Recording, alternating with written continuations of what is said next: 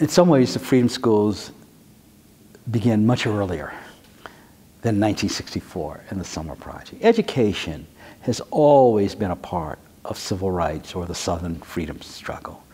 I mean, that's why they made the education of slaves illegal in the United States. There's always been this connection between education and freedom.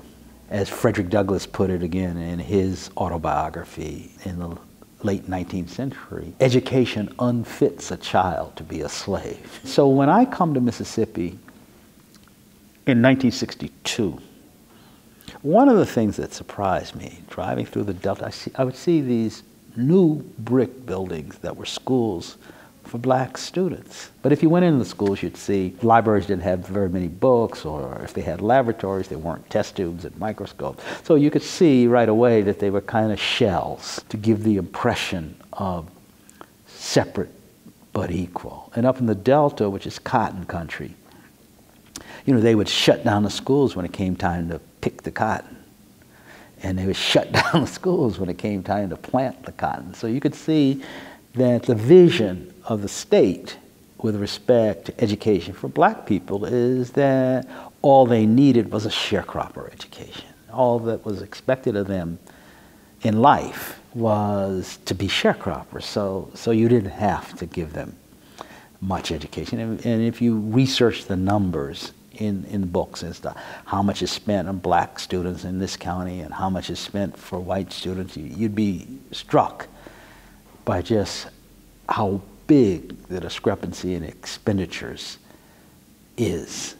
So we were aware of all of that, but we didn't have a way to tackle it. What the summer project enabled us to do was begin to think about that. As a practical matter, if you've got a whole lot of inexperienced students coming to Mississippi, you want to figure out a way you could use them in the safest manner possible.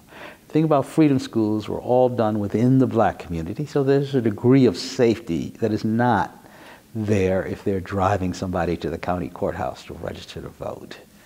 So, uh, as a practical matter, you know, having the students in these communities and using them as teachers helped keep them safe and also won us points in the community because education has always been a big thing in the black community. There was a, clearly a consensus in the community that education, however you could get it, was a good thing. So uh, a history major from Brown or Howard University or, or Stanford or UC Berkeley had a lot to offer kids who were being so abysmally undereducated.